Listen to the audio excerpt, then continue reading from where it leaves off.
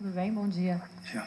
Uh, o que, que, que você pode nos adiantar, se é que é possível, uh, a respeito da tua ideia de time para o próximo jogo? Pois é, vamos ver. É, dentro da, da, normalidade deve ser o mesmo, a princípio.